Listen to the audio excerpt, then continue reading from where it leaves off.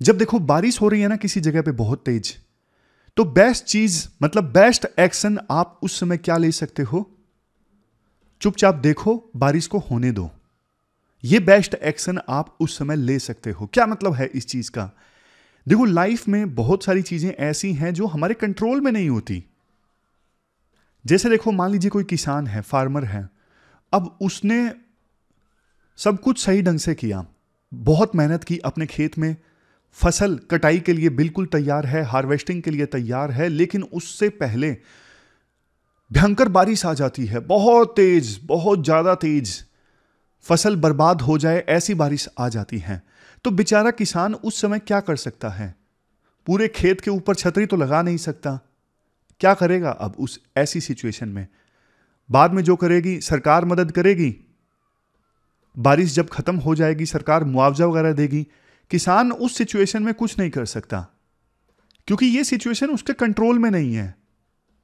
उसी प्रकार से देखो स्टूडेंट्स हैं, जैसे यूपीएससी एस्पायरेंट्स हैं, कई बार बहुत ज़्यादा मेहनत करते हैं, बहुत ही ज़्यादा, सब कुछ सही किया मॉक टेस्ट अटैम्प्ट किए प्री से पहले सो सो मेन से पहले ज़बरदस्त आंसर राइटिंग लेकिन अगर प्री से पहले भगवान ना करे कोई स्टूडेंट बीमार हो जाए, बहुत ज़्यादा कोई एक्सीडेंट हो गया तो ये सिचुएशन देखो, उसके हाथ में नहीं है कंट्रोल में नहीं है। एक्सेप्ट करो और आगे बढ़ो, आगे ठीक एक्शन लो। यही हम कर सकते हैं, बजाय फ्रस्ट्रेट होने के, बजाय के अपने दुखड़े रोने के कि मेरे साथ ही ऐसा क्यों हुआ। किसका ये कोट है? हेनरी वेड्सवर्थ लॉन्ग फेलो का ये कोट है। नाम भी कितना मुश्किल है। डेट आज की देखो 26 जनवरी है। सबसे पहले आपको हैप्पी रिपब्लिक डे एक क्वेश्चन भी है आपके लिए कि अपना जो रिपब्लिक डे है, वो 26 जनवरी को ही क्यों सेलिब्रेट किया जाता है? जबकि संविधान तो हमने नवंबर में अडोप्ट कर लिया था। तो दो महीने बाद क्यों रिपब्लिक डे सेलिब्रेट किया जाता है? इस क्वेश्चन का आंसर आपको देना है नीचे कमेंट बॉक्स में। आर्टिकल आज अच्छे अच्छे हम डिस्कस करेंगे। हिंदू में ज़्यादा अच्छे आर्टिकल्स नहीं है, राजनीति से संबंधित हैं। लेकिन आज पेपर थ्री में इंफ्रास्ट्रक्चर से रिलेटेड एविएशन मार्केट का टॉपिक है, पूरा कंप्लीट कर देंगे, उसे हम डिटेल से डिस्कस करेंगे। सरकार के ये दो साइंस प्रोग्राम्स हैं, वैभव एंड वज्र। क्या प्रोग्राम है, क्या खामियाँ हैं, इन प्रोग्राम्स में वो डिस्कस करेंगे। सबसे लास्ट में, अब टर्की मान गया है स्वीडन के लिए। स्वीडन काफ़ी समय से नाटो का मेंबर बनना चाहता था, लेकिन टर्की नहीं मान रहा था। लेकिन अब टर्की ने निर्णय लिया है कि वो स्वीडन को सपोर्ट करेगा नाटो का मेंबर बनने के लिए। चलिए डिस्कशन स्टार्ट करते हैं। इसके बाद नेक्स्ट आर्टिकल इंडिया के एविएशन सेक्टर से संबंधित है। आप देखो जीएस पेपर थ्री में जो इंफ्रास्ट्रक्चर वाला टॉपिक है ना, वहाँ से इस आर्टिकल को रिलेट कर सकते हो। क्या कंटेस्ट है? हाल ही में देखो यूनियन सिविल एविएशन मिनिस्टर ने ना एक स्टेटमेंट दी। अभी इंडिया पूरे वर्ल्ड में एविएशन सेक्टर के मामले में पाँचवें नंबर पर सबसे बड़ी मार्केट है। अगर डोमेस्टिक पैसेंजर्स की बात करें तो बल्कि तीसरे नंबर की सबसे बड़ी मार्केट है इंडिया पूरे वर्ल्ड में। अगर डोमेस्टिक पैसेंजर्स के हिसाब से देखें तो और इंटरनेशनल पैसेंजर्स के हिसाब से देखें तो इंडिया की जो एविएशन मार्केट है ना, पूरे वर्ल्ड पे सातवें नंबर पे है। दोनों को ऐड करोगे डोमेस्टिक पैसेंजर्स प्लस में इंटरनेशनल पैसेंजर्स तो इंडिया पाँचवें नंबर पे पूरे वर्ल्ड में सबसे बड़ी मार्केट है। लेकिन लक्ष्य यह है कि आने वाले तीन सालों में इंडिया पूरे वर्ल्ड में तीसरे नंबर पे सबसे बड़ी एविएशन मार्केट हो जाएगा। समझे? 2030 आते आते हमारे देश में डोमेस्टिक पैसेंजर्स की मार्केट हो जाएगी 300 मिलियन की। और अभी हमारे देश में जो अलग अलग एयरलाइंस है ना, जैसे इंडिगो एयर इंडिया इन सब के पास अगर एरोप्लेन्स की संख्या जोड़ दें तो सबके पास मिला के आज के समय में 723 के आसपास एरोप्लेन्स हैं। लेकिन 2030 आते आते हमारे देश की एयरलाइंस के पास एरोप्लेन्स होंगे ऑलमोस्ट 2000 के आसपास। इतना तेज़ी से हमारे देश में एविएशन सेक्टर ग्रो कर रहा है। थोड़ा डेटा देखिए, जो आप आंसर्स में यूज़ कर सकते हो। 2014 में डोमेस्टिक पैसेंजर्स कितने थे हमारे देश में? 60 मिलियन 2020 यानी कोविड से पहले बढ़ के संख्या हो गई 43 मिलियन इंटरनेशनल पैसेंजर्स की संख्या 2014 में 43 मिलियन लेकिन 2020 में बढ़ के हो गई 64 मिलियन ऑलमोस्ट 50 परसेंट का इजाफा। एयरपोर्ट्स आज के समय में हमारे देश में कितने हैं? 148 148 में देखो सीधा सीधा ऑपरेशनल एयरपोर्ट्स हैं 137 दो वाटर एरोड्रोम्स भी हैं। वाटर एरोड्रोम क्या होते हैं? जैसे देखो, कोई लेक है, झील है, उसमें कोई पर्टिकुलर स्पोर्ट है ओपन वाटर है, जहाँ पे सी प्लेन्स को लैंड करवाया जा सकता है। तो उस लैंडिंग साइट को वाटर में कहते हैं वाटर एरोड्रोम्स इसके अलावा नो हमारे देश में हेलीपोर्ट्स भी हैं। ये हेलीपोर्ट्स क्या होते हैं? जैसे देखो, हेलीकॉप्टर वगैरह नहीं होते। उनको लैंड करवाने की साइट्स जो होती हैं, उनको बोलते हैं हेलीपोर्ट्स। हेलीकॉप्टर या फिर इस प्रकार के कुछ और एयरक्राफ्ट, उनको लैंड करवाना, वहाँ पे उनको फ्यूल वगैरह देना या फिर दूसरी सर्विसेज़, ऐसी जगहों को बोला जाता है हेलीपोर्ट्स। तो सेक्टर जो है, लगातार प्रॉफिटेबल होता जा रहा है। ये aviation sector international air transport association की रिपोर्ट है। 2024 में 2023 में एयरलाइन इंडस्ट्री का प्रॉफिट 40.7 बिलियन डॉलर्स और 2024 में ऑपरेटिंग प्रॉफिट होगा 49.3 बिलियन डॉलर्स। एयरपोर्ट इंफ्रास्ट्रक्चर तो हमारे देश में देखो लगातार बढ़ रहा है। सरकार का लक्ष्य ये था उड़ान स्कीम के तहत कि 2024 आते आते 100 नए एयरपोर्ट्स सरकार इस्टाब्लिश करेगी और 100 में से देखो 74 तो सरकार ने इस्टाब्लिश भी कर दिए हैं। छोटे छोटे शहरों में अब फ़्लाइट चलने लगी हैं। अब अपॉर्चुनिटीज़ की बात करते हैं कि इंडिया के एविएशन सेक्टर में पोटेंशियल अपॉर्चुनिटीज़ क्या हैं। देखो, हमारे देश में ना एमआरओ सर्विसेज़ का काफ़ी स्कोप है। एमआरओ सर्विसेज़ मतलब जैसे देखो, हमारे देश में प्लेन्स की संख्या बढ़ेगी तो अब उनको रिपेयर करवाना, उनके इक्विपमेंट्स चेंज करवाना, उनकी मेंटेनेंस ये सब सर्विसेज़ आती हैं। एमआरओ सर्विसेज़ में maintenance repair and overhaul services में। अब इसकी भी एक बहुत बड़ी मार्केट है। 2025 में ना ये मार्केट ग्रो होके 4.33 बिलियन डॉलर्स की हो जाएगी। नेक्स्ट ड्रोन्स वगैरह की मार्केट हमारे देश में काफ़ी तेज़ी से बढ़ रही है। 2026 आते आते ये 1.8 बिलियन डॉलर्स की हो जाएगी। और जून 2023 में यूएस ने यह कहा था कि वो कमिटेड है इंडिया को पूरे वर्ल्ड में ड्रोन्स के लिए एमआरओ सर्विसेज़ का हब बनाने के लिए। मतलब दूर दूर से विभिन्न देश जो हैं वो इंडिया में आएँगे। ड्रोन्स की मेंटेनेंस रिपेयर के लिए मेंटेनेंस के लिए और इक्विपमेंट्स चेंज वगैरह करवाने के लिए। अब इसके बाद देखो चैलेंजेस की बात कर लेते हैं।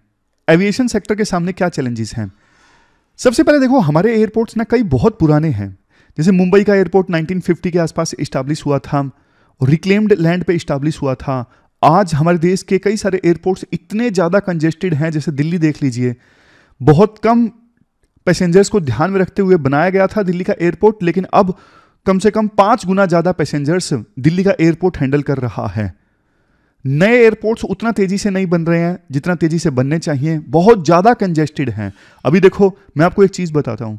कई बार ऐसा होता है प्लेन को ना दिल्ली एयरपोर्ट पे लैंड करवाने के लिए ना तीस तीस मिनट का वेट करना पड़ता है। हवा में, जैसे ये एयरपोर्ट है ना, प्लेन जो है हवा में ही चक्कर काटता रहता है, काटता रहता है कि मेरी बारी आएगी, तब मैं नीचे लैंड करवाऊँगा।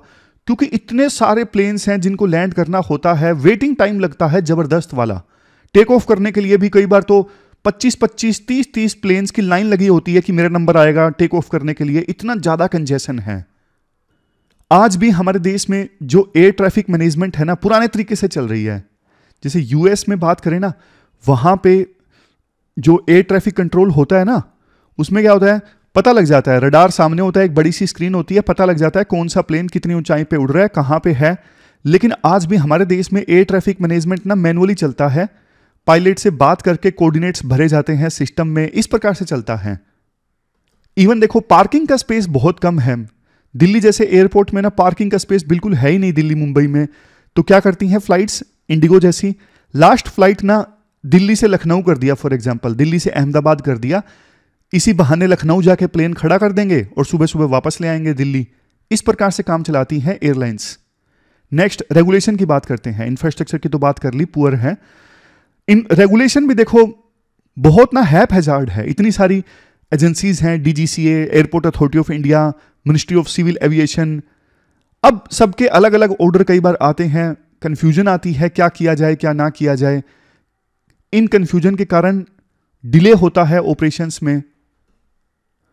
तो मतलब रेगुलेटरी फ्रेमवर्क अच्छा नहीं है। इसके बाद बात आती है स्किल्ड वर्कफोर्स की। हमारे देश में देखो स्किल्ड वर्कफोर्स की बहुत कमी है, जिसकी वजह से सेफ्टी कॉम्प्रोमाइज़ होती है, बहुत बार डिलेज होते हैं टाइम पे इंजीनियर्स में नहीं मिलते प्लेन को ठीक करने के लिए। इवन दिक्कत ये भी है प्रोफेशनल्स को ट्रेन करने के लिए ट्रेनिंग कॉस्ट काफ़ी ज़्यादा है। अभी भी पुरानी फैसिलिटीज़ हैं ट्रेनिंग प्रोवाइड करने के लिए। तो कहने का मतलब ये है स्किल में मिसमैच है।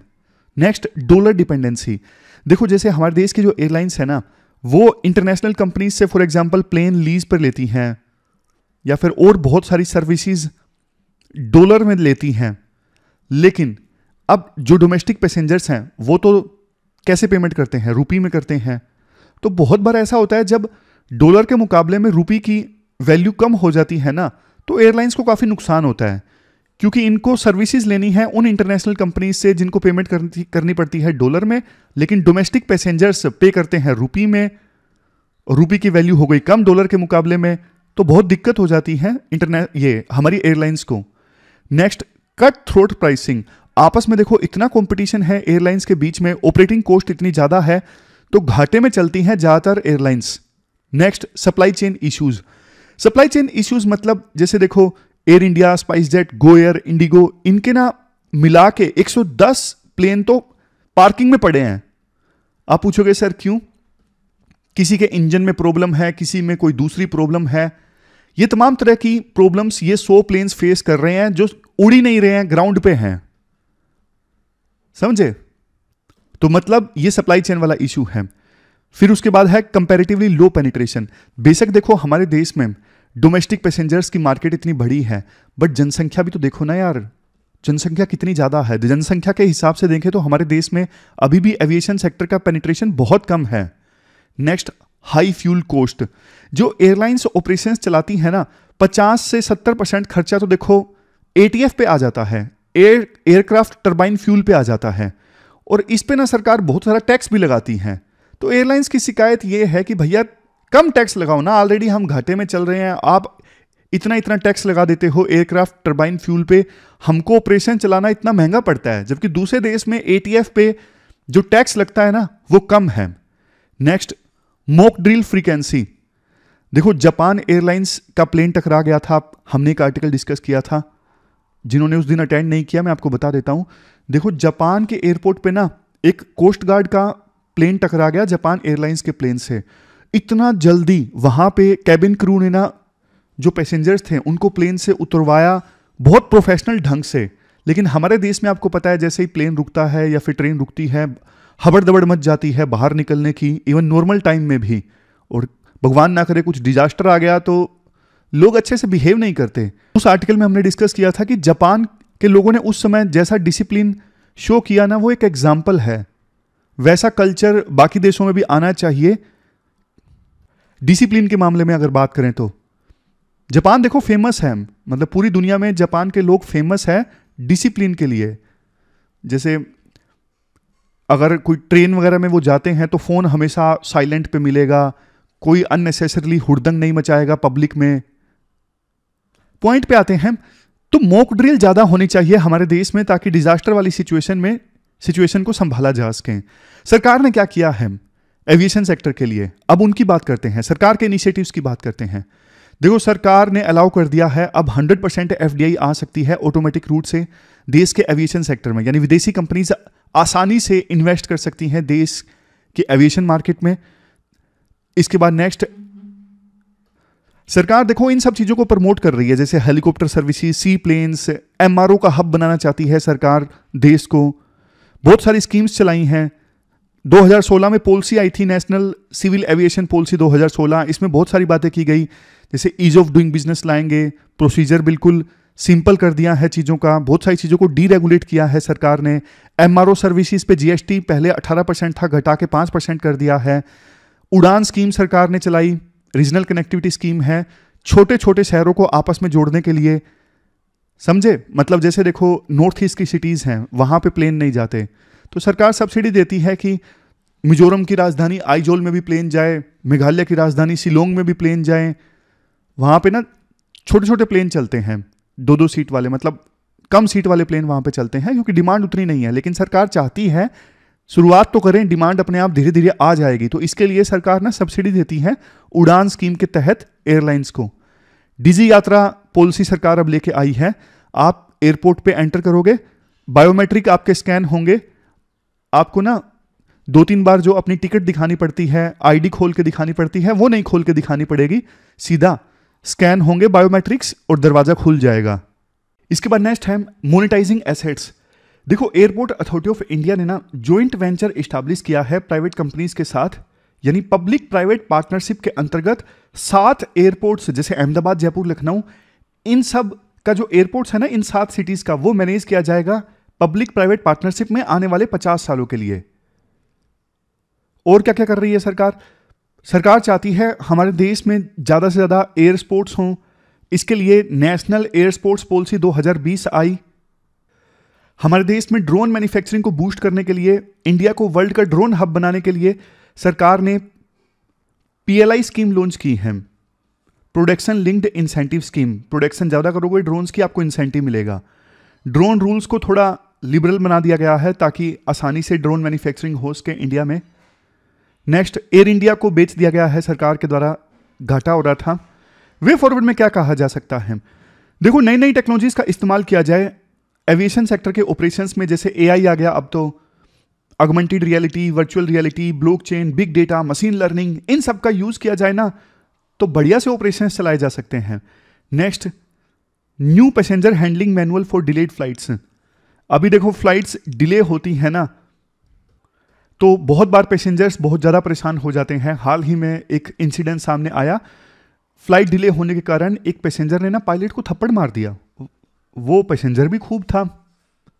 मतलब कि ठीक है फ़्लाइट डिले हुई, सबको दुख होता है। पायलट को थप्पड़ मारने से क्या मिलेगा? वो ऑपरेशन नहीं चला रहे ना एयरलाइन के। नेक्स्ट है ensuring crew and passenger safety समय समय पे मोक ड्रिल्स होने चाहिए। ये होना चाहिए कि जो कैबिन क्रू है ना एयर होस्टेस वगैरह, वो 90 सेकंड के अंदर अंदर पूरा प्लेन खाली करवा दे, जल्दी से इस प्रकार की कैपेबिलिटी होनी चाहिए। नेक्स्ट एजुकेशन देखो, हमारे देश में ना एयरलाइंस को जिस प्रकार के प्रोफेशनल्स चाहिए, उस प्रकार की एजुकेशन प्रोवाइड करना ज़रूरी है कॉलेज में, ताकि स्किल में मिसमैच ना हो। लास्ट स्लाइड है। एफिशिएंट रेगुलेटरी सिस्टम अभी जैसे एयरपोर्ट अथॉरिटी ऑफ़ इंडिया है डीजीसीए है एविएशन मिनिस्ट्री है हैप हजार्ड वे में ना चले रेगुलेशन अच्छे से चले, रेगुलेशन क्लियर हो कंसिस्टेंट हो ट्रांसपेरेंसी हो अकाउंटेबिलिटी हो, इन सब चीज़ों को इंश्योर करने की आवश्यकता है। और सबसे लास्ट में यही है वर्कफोर्स को अपस्किल किया जाए। जो ऑलरेडी लोग काम कर रहे हैं, उनको भी अपस्किल करने की आवश्यकता है लेटेस्ट स्किल्स प्रोवाइड करने की आवश्यकता है। तो देखो, ये हमने ना डिटेल से एक पूरा यूँ मान लीजिए, आपका टॉपिक डिस्कस हो गया एविएशन सेक्टर से संबंधित। अब चलते हैं आगे। इसके बाद नेक्स्ट आर्टिकल भारत में रिसर्च को प्रमोट करने के लिए सरकार द्वारा चलाए गए दो प्रोग्राम्स से संबंधित हैं, वैभव एंड वज्र। आप जीएस पेपर थ्री में, ये जो टॉपिक है ना achievements of Indians in science and tech इस टॉपिक से रिलेट कर सकते हो। क्या कंटेस्ट है?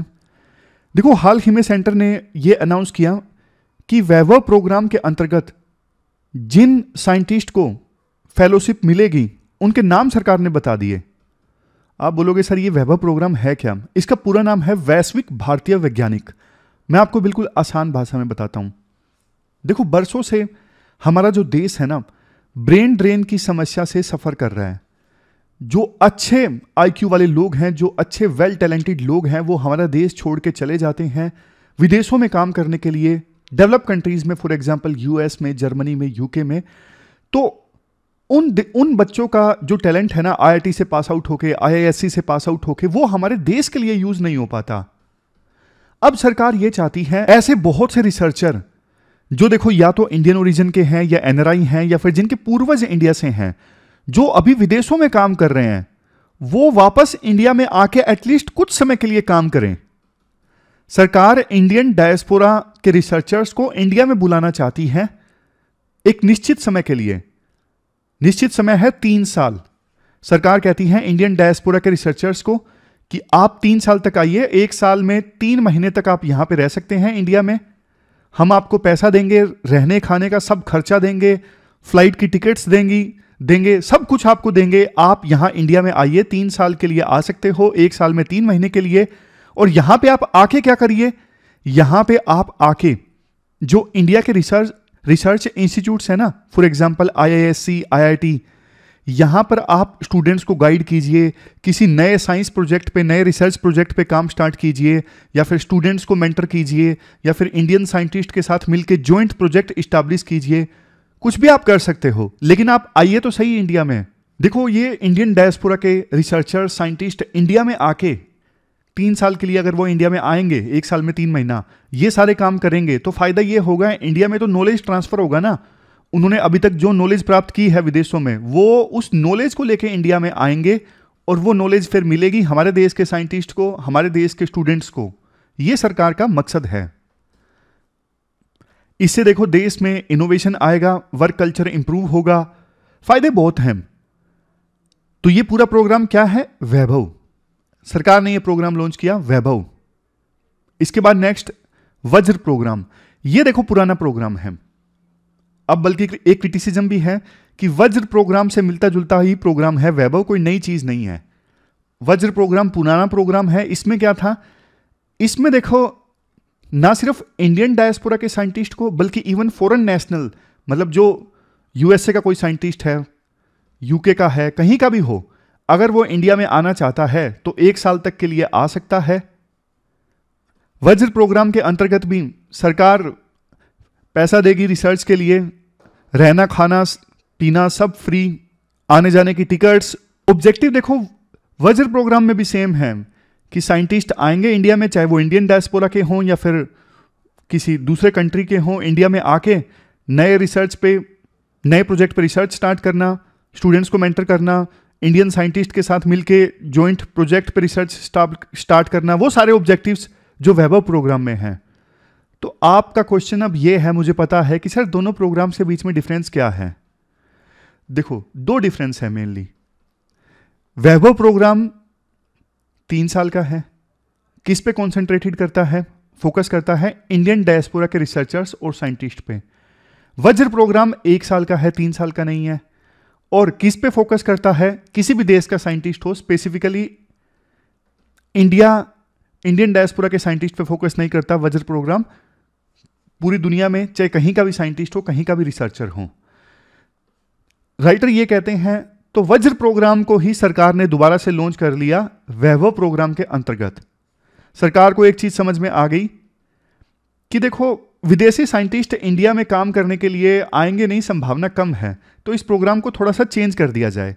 तो वज्र प्रोग्राम में सरकार तब्दीली लेके आई। एक तो इस प्रोग्राम को तीन साल के कर दिया। और दूसरा कर दिया सिर्फ़ इंडियन डायस्पोरा के लिए। कम से कम इंडियन डायस्पोरा के लोग हैं, वो देशभक्ति के चलते या फिर एथनिस्टी सेम है, उसको लगे जैसे स्वदेश फ़िल्म में शाहरुख खान वापस आए थे तो उसको लगे कि अपनों के लिए कुछ करना है। तो इस लिहाज से इंडियन डायस्पोरा के साइंटिस्ट तो क्या पता फिर भी आ भी जाएँ। लेकिन फॉरेन नेशनल फिर भी आते तो है नहीं, इसलिए वज्र प्रोग्राम की कोई इंपॉर्टेंस नहीं है, ये प्रोग्राम तो सफल नहीं है। तो सरकार ने थोड़ा बहुत चेंज करके नया प्रोग्राम लॉन्च किया वैभव। ताकि सिर्फ़ इंडियन डायस्पोरा के साइंटिस्ट पर फोकस किया जा सके और टाइम पीरियड फीडबैक के आधार पर तीन साल कर दिया गया है। तो यही क्रिटिसिज्म है राइटर का। राइटर कहते हैं कि देखो सेमी प्रोग्राम है। जब पहले वाला प्रोग्राम सफल नहीं हुआ तो ये प्रोग्राम कैसे सफल होगा? राइटर का मेन कंसर्न है कि देखो, जो चाहे इंडियन डायस्पोरा के साइंटिस्ट हैं, उनको ना विदेशों में बहुत सारी फैसिलिटीज़ मिलती हैं, बहुत पैसा मिलता है, पैसों की कमी नहीं है। तो सरकार उनको ना पैसों का लालच देके बुलाना चाहती है कि हम आपको रिसर्च के लिए फंड देंगे, रहना पीना, खाना सब फ्री देंगे। तो ये ना चीज़ें उतनी अच्छी नहीं है, इससे हमारे देश में इनोवेशन वाला इकोसिस्टम नहीं डेवलप होगा नॉलेज ट्रांसफ़र नहीं होगा। क्योंकि देखो, जो बेसिक प्रॉब्लम्स है ना रिसर्च की, जैसे देखो रिसर्च के लिए सरकार की फंडिंग काफ़ी कम है साइंटिस्ट के पास में एकेडमिक फ्रीडम नहीं है। याद होगा हमने एक आर्टिकल डिस्कस किया था कि अच्छे साइंटिस्ट, अच्छे एडमिनिस्ट्रेटर नहीं हो सकते। उसमें हमने बहुत सारी प्रॉब्लम्स डिस्कस की थी देश के साइंस इकोसिस्टम में। तो जब तक सरकार इन मूलभूत समस्याओं को एड्रेस नहीं करेगी ना तो फिर देखो ये छोटी छोटी फेलोस फेलोशिप स्कीम्स चला के इंडियन डायस्पोरा के लिए कुछ बदलने नहीं वाला है। सिर्फ़ इन स्कीम से ज़्यादा एक्सपेक्टेशन रखना, ये देखो गलत चीज़ है। आप बेसिक जो प्रॉब्लम्स हैं साइंस मैनेजमेंट में, उनको ठीक कीजिए, तब जाके हमारे देश में चीज़ें ठीक होनी स्टार्ट होगी। प्राइवेट रिसर्च अभी इतना कम होती है हमारे देश में। ज़्यादातर पैसा रिसर्च के लिए सरकार की तरफ़ से आता है। जबकि यूएसए जैसे देशों में उल्टा है। प्राइवेट कंपनीज़ ज़्यादा खर्च करती हैं रिसर्च पे सरकार कम खर्च करती है। लास्ट में ये भी निकल के आता है पॉइंट सरकार को ये भी लगता है कि इंडियन डायस्पोरा के साइंटिस्ट वैसे तो हम स्कीम के अंतर्गत उनको तीन साल के लिए बुला रहे हैं। लेकिन हो सकता है कि वो रुक जाएँ ज़्यादा समय के लिए, उनका देश प्रेम और भी ज़्यादा जाग जाए। और वो वापस जाएँ ना विदेश में। ये तो देखो, देखने वाली बात है। क्या वो वास्तव में इंडियन डायस्पोरा के साइंटिस्ट तीन साल बाद जब ये स्कीम ख़त्म होगी, उसके बाद देश में रुकेंगे या फिर नहीं रुकेंगे? चलते हैं आगे। इसके बाद नेक्स्ट आर्टिकल इंडियन एक्सप्रेस का है। फाइनली देखो, अब टर्की ने यह फैसला लिया है कि वो स्वीडन की जो कोशिश है ना नाटो को ज्वाइन करने की, उसका समर्थन करेगा, उसका सपोर्ट करेगा। मैं आपको बेसिक्स पहले बता देता हूँ, जल्दी से बिना टाइम गवाए। देखो नाटो एक कोलेक्टिव डिफेंस वाली ऑर्गेनाइजेशन है। कोलेक्टिव डिफेंस वाली ऑर्गेनाइजेशन मतलब नाटो के जो मेंबर्स हैं ना, जैसे अभी थर्टी वन मेंबर्स हैं, एक पे भी, इकतीस में से एक पे भी हमला होता है ना तो इसे बाकी मेंबर्स के द्वारा भी अपने ऊपर हमला माना जाएगा। जैसे पक्की दोस्ती नहीं होती, तीन दोस्त हैं। तीन दोस्त में एक को भी किसी ने मारा तो तीनों दोस्त एक साथ आएँगे। जिसने भी किसी एक को मारा है, उससे बदला लेने के लिए। ठीक उसी कंसेप्ट पर काम करता है ये नाटो की ऑर्गेनाइजेशन कलेक्टिव डिफेंस है। एक पे हमला मतलब सब पे हमला। अगर हम जवाब देंगे तो सब मिल जवाब देंगे, बेशक एक पे हमला हुआ है। सब एक के लिए और एक सब के लिए, इस फिलोसफी पे काम करता है ये ऑर्गेनाइजेशन अब देखो, इस नाटो ऑर्गेनाइजेशन का ना एक रूल है। नया मेंबर नाटो का तभी कोई बन सकता है जब ऑलरेडी जितने भी मेंबर्स हैं ना करंट एग्जिस्टिंग मेंबर्स सभी अप्रूवल देंगे, तभी कोई नया मेंबर बन सकता है नाटो का, कोई नया देश, तभी मेंबर बन सकता है अदरवाइज़ नहीं बन सकता। तो ना स्वीडन काफ़ी समय से नाटो का मेंबर बनना चाहता था, लेकिन दो देश ना मानने को तैयार नहीं थे टर्की और हंगरी तो जैसे मैंने आपको बताया, जब तक सारे देश करंटली एग्जिस्टिंग मेंबर नहीं मानेंगे, तब तक नए देश को अप्रूवल मिलेगा ही नहीं। तो टर्की और हंगरी के कारण स्वीडन की जो मेंबरशिप थी, वो रुकी हुई थी। स्वीडन के बारे में थोड़ा सा डिस्कस करें। स्वीडन देखो, पिछले दो सेंचुरीज से, पिछले दो दशकों से स्वीडन ने कोई वार नहीं लड़ा है। इवन दो वर्ल्ड वार्स के दौरान भी स्वीडन न्यूट्रल रहा, ना यूएस की साइड गया, ना यूएसएसआर की साइड और कोल्ड वार के दौरान भी स्वीडन न्यूट्रल रहा, ना यूएस की साइड गया, ना यूएसएसआर की साइड लेकिन देखो, पिछले कुछ सालों में ना, स्वीडन ने यूरोपियन यूनियन को ज्वाइन किया। और थोड़ा बहुत कोलाबोरेशन किया नाटो के साथ में। लेकिन फिर भी ऐसा इंटेंशन तो स्वीडन ने कभी शो नहीं किया कि वो नाटो को ज्वाइन ही करेगा। नहीं, ऐसा कोई इंटेंशन स्वीडन ने पहले ज्वाइन नहीं किया था। क्योंकि ना स्वीडन पहले अपने नेबरिंग कंट्री रशिया को नाराज़ नहीं करना चाहता था। समझे? स्वीडन नहीं चाहता था कि हमारे नाटो ज्वाइन करने से रशिया नाराज़ हो जाए। लेकिन ना, एकदम से जब रशिया ने यूक्रेन के ऊपर अटैक किया ना तब स्वीडन डर गया कि यार रशिया ने यूक्रेन के ऊपर अटैक कर दिया। ऐसे तो कल को हमारे ऊपर भी अटैक कर सकता है। तब स्वीडन ने फाइनली डिसाइड किया क्योंकि स्वीडन की सरकार पे भी ना लोगों का प्रेशर बढ़ता जा रहा था कि आप ना नाटो को ज्वाइन कीजिए अपनी सुरक्षा करने के लिए। रशिया का कोई भरोसा नहीं है। तो 2022 में जब रशिया ने यूक्रेन के ऊपर अटैक किया तो स्वीडन और फिनलैंड दोनों ने नाटो की मेंबरशिप के लिए अप्लाई कर दिया। अब फिनलैंड के लिए तो सभी देशों ने अप्रूवल दे दिया। रास्ता साफ़ मेंबर बनने का, लेकिन स्वीडन के लिए नहीं दिया। स्वीडन के लिए दो देश अड़ गए, टर्की और हंगरी। अब क्वेश्चन उठता है, ऐसा क्यों? मतलब टर्की और हंगरी ने क्यों अपोज किया स्वीडन की मेंबरशिप को? क्योंकि देखो, पहली चीज़, टर्की में जो कुर्दिस्तान वर्कर्स पार्टी है ना, जो अलग से कुर्दिस्तान देश बनाना चाहती है, टर्की कहता है, इस पार्टी के जो मेंबर्स हैं ना, वो टेररिस्ट हैं। और स्वीडन इनके प्रति ना सॉफ्ट है। टर्की का आरोप है, बहुत सारे जो मेंबर्स हैं ना कुर्दिस्तान वर्कर पार्टी के, वो स्वीडन में शरण लेके रह रही हैं। स्वीडन उनको कुछ नहीं बोलता, स्वीडन उनके प्रति बहुत ज़्यादा सॉफ्ट है। ये पहला रीज़न दूसरा रीज़न आपको पता है, देखो, टर्की के एम्बिशंस हैं मुस्लिम वर्ल्ड का लीडर बनने की। और स्वीडन में ना, इस्लाम में पवित्र ग्रंथ, कुरान को जलाने की घटनाएँ सामने आई। समझे? तो स्वीडन की सरकार ने कुछ खास एक्शन नहीं लिया। बोला कि ये फ्रीडम ऑफ़ स्पीच के ला से बंधी हुई है। टर्की ने राज हो गया। टर्की ने कहा कि ऐसे कैसे? लोग हमारे पवित्र ग्रंथ को जला रहे हैं। आप चुप हो। आप कोई एक्शन नहीं ले रहे हो। हम आपको नाटो का मेंबर नहीं बनने देंगे। तो इसकी वजह से ना, टर्की और स्वीडन के बीच में काफ़ी खटास थी। अब बात करें हंगरी की। हंगरी के बारे में तो ना, स्वीडन के जो लीडर्स हैं ना पॉलिटिकल लीडर्स वहाँ के प्रेसिडेंट वगैरह, उन्होंने ये बोल दिया था कि हंगरी में कोई रूल ऑफ़ लॉ नहीं है डिक्टेटरशिप है डेमोक्रेसी खतरे में है। तो फिर वो नाराज़ हो गया हंगरी कि यार ये क्यों बोल रहा है ये? मतलब स्वीडन जो है, वो हमारे यहाँ पे डेमोक्रेसी पे रूल ऑफ़ लॉ पे क्यों क्वेश्चंस उठा रहे हैं? इस वजह से हंगरी ने स्वीडन की मेंबरशिप को अपोज किया।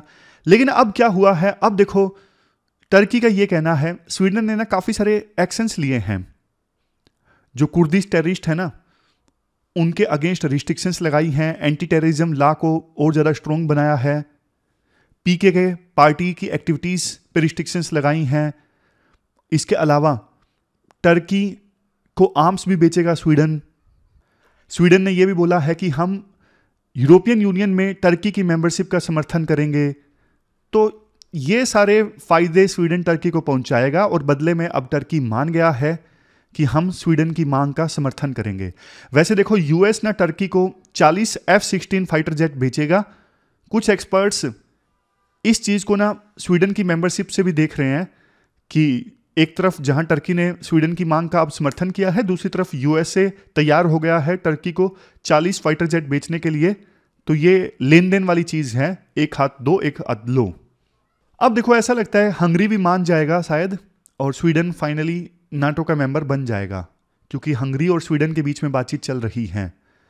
लेकिन देखो रशिया के लिए काफ़ी चिंता की बात है। बाल्टिक सी में फिनलैंड स्वीडन ये सारे देश अब नाटो का मेंबर बन गए हैं।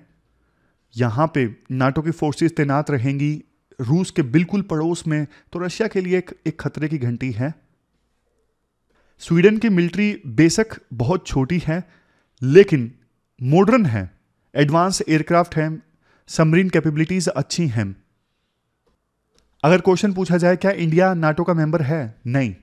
नाटो देखो, बनी थी कोल्ड वार के दौरान, और इंडिया उस समय किसी भी ग्रुप में शामिल नहीं था, ना यूएसए के, ना यूएसएसआर के। बट अब यूएसए में चर्चाएँ चल रही हैं। नाटो प्लस ऑर्गेनाइजेशन का निर्माण किया जाए। यहाँ पे नाटो प्लस ऑर्गेनाइजेशन चाइना के खिलाफ लड़े, और ताइवान की सुरक्षा करे। और नाटो प्लस ऑर्गेनाइजेशन में इंडिया को भी शामिल किया जाए, ऐसी चर्चाएँ चल रही हैं। अब देखने वाली बात होगी कि इंडिया नाटो प्लस में शामिल होगा या नहीं होगा। पास्ट में पहले भी प्रपोजल दिए गए हैं यूएस के द्वारा, और इंडिया ने कोई खास रिस्पॉन्स नहीं दिया है यूएसए के इन प्रपोजल्स में। इंडिया की भी थोड़ी रिलेक्टेंस है, लेकिन देखने वाली बात है, फ्यूचर में ये नाटो प्लस वाला कंसेप्ट कितना आगे जाने वाला है। चलते हैं आगे। लास्ट में आप क्वेश्चंस देख लेते हैं जो आपको अटेम्प्ट करने हैं। क्वेश्चंस देखो, आज आपको तीन अटेम्प्ट करने हैं। एक तो वैभव और वज्र प्रोग्राम से संबंधित। दूसरा देखो एविएशन सेक्टर से संबंधित हमने टॉपिक डिस्कस किया था। वहाँ से एक क्वेश्चन आपको अटेम्प्ट करना है, जो यूपीएससी ने पूछा था 2017 में। फिर आज रिपब्लिक डे है तो आपको इससे संबंधित भी एक क्वेश्चन अटैम्प्ट करना है। तीन क्वेश्चन अटैम्प्ट आपको करने हैं, तीनों 250 वर्ड्स में। पी डब्ल्यू डॉट कॉम पर जाके आप इन क्वेश्चन को एड्रेस कर सकते हो। प्री से संबंधित एक क्वेश्चन है, ये भी यूपीएससी ने पूछा था।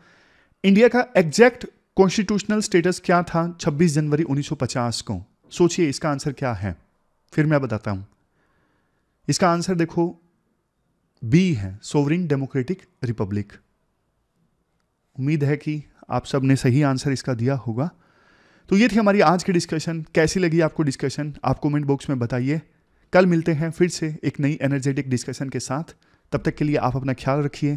Thank you thank you very much for discussion